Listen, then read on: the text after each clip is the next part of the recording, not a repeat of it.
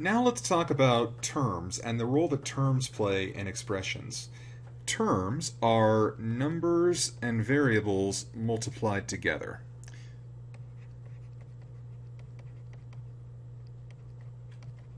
I often look at expressions and I think of the terms as the clumps. You can kind of see that if you know how to look at it. If you look at example 1 here, you'll see it has one, two, three, four, five, six terms. Now the thing about simplifying is that expressions like what we see in these two examples down here are unnecessarily complicated. They can be made simpler. To do that, we look at like terms. Like terms are terms that have matching variables and exponents. Think of like terms as terms that are only different in their coefficients. So their variables are the exact same, their exponents are the exact same, but the numbers can be different. Now you have to be careful here because this is a very, very rigid thing. So for instance, if I had, say, 5x to the 10th, y to the 9th, z, and I had 11, x to the 10th, y to the 9th, z, those would be like terms. But if I put z squared here, they would cease to be like terms because now they don't have the same power. So even the most minute difference, an exponent can be a deal breaker there. So look out for that. Remember, they have to be the exact same with variables and exponents. And if they are the exact same, that allows us to combine them and make these problems much simpler. To do that, we just add or subtract their coefficients from the like terms. An easy way to do that often is to just pretend the variables aren't there and see what the number would come out to if the variables weren't there.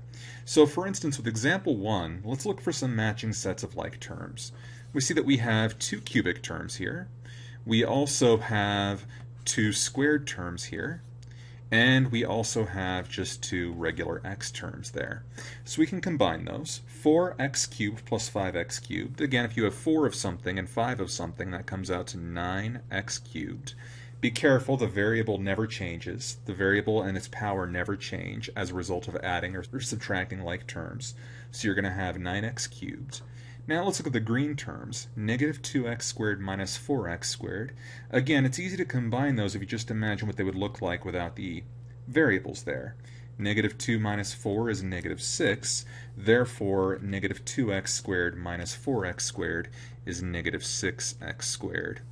As for 2x minus 6x, again, 2 minus 6 is negative 4, and therefore 2x minus 6x is negative 4x. So again, with combining like terms, you just identify things that match and put them together.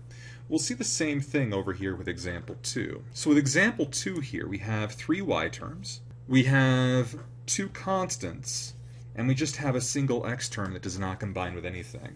So you can just write it down immediately, 2x like that.